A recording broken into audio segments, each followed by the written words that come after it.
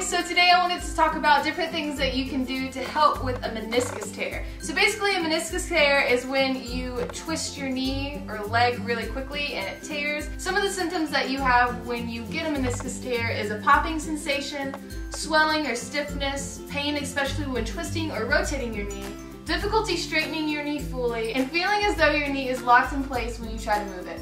So I'm pretty sure that I have a meniscus tear. Uh, one of my friends, she had one too, and what she did to test it was she went on this side of my body and she pulled it like this, and if you're able to resist it, it's you're fine, but if you can't, then that's what you have. And I was able to resist it a little bit, and then I couldn't anymore, so I have a partial one, and I wanted to do this video to show you guys some exercises that you can do to help with the pain. So the first exercise is going to involve a belt or a, what are these So the first exercise is going to require a resistance band, which I don't have, so I am using a belt, which works just as well. So what, what you're going to do is you're going to put your belt or your band, your fancy band, Okay, and then you're gonna stretch your leg all the way out. Oh my god, okay, it's gonna hurt. Um, I just like twisted Don't twist because that makes your meniscus tear worse. So what you're gonna do is you're gonna put your band on this part of your foot. You don't want to put it here or here. You want to put it like right here because we're not trying to slap ourselves in the face. If You're gonna pull it a little bit to where it doesn't hurt, but you can feel it because that kind of hurts. So and then boom. And then you just relax it and you're gonna do that three times. this is a comedy. Because I don't do this. I don't I'm trying to make it better because it's been like three weeks and I haven't been doing anything on it. I stopped exercising and it still hurts. So I'm like, okay, we need to do some kind of stretches. And I've done this a lot more than three times, but you'll roll need it. Okay. And you're done. Meniscus tear healed. Not really. Alright, next exercise. You're going to be doing the same exact thing, but you're going to lay down and let your booty show. So,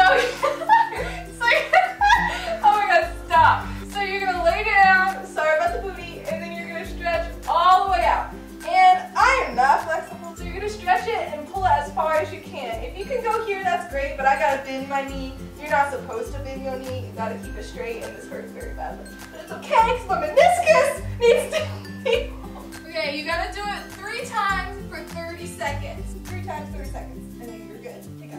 So, next exercise, you do not need your belt. Um, basically, you're gonna put this leg all the way out, and you can this leg down or bend it, whatever. What you're gonna do is you're gonna push your knee down to the mat, take your foot, and you're gonna put it back like this, and put your knee down all the way, and you don't wanna go like this. You wanna push your knee down, and you're gonna lift it a little bit. I say for 30 seconds. Like, I feel like this is a good video because I actually have a meniscus tear right now, so extra credit please. I'm just kidding.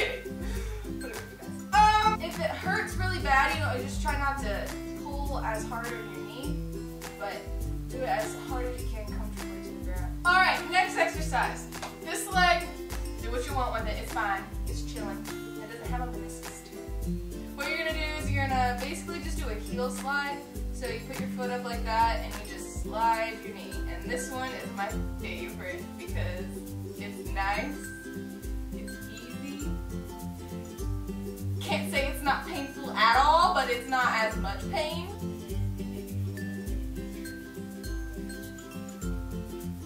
So first thing, you're gonna go on your tummy tum, and you're gonna keep your hips on the mat, and then you're just gonna lift up your leg like this. Make sure you straighten your foot out because I wasn't doing that at first. And I don't know, it doesn't hurt that bad to me. I don't feel like that's the exercise for me. I mean, I'm not saying it's bad exercise. I mean, it depends on. Exercise number six. Let me watch this real quick. Five minutes later. Okay, so apparently this is gonna look easy, but actually be very difficult, so get ready for that. Um, I'm not. I'm kind of nervous about it.